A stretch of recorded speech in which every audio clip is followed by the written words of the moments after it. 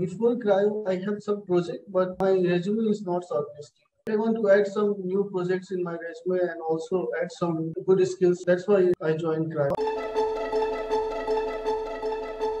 I learned basically how the project development work inside the industry. The way whole course is structured is I would say best. It provide you very fast way to learn because everything is structured inside the It helps you to do development in very fast paced environment and also learn as well.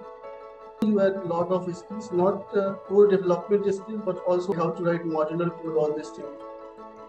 They give you complete explanation about the project. It helped in the interview also.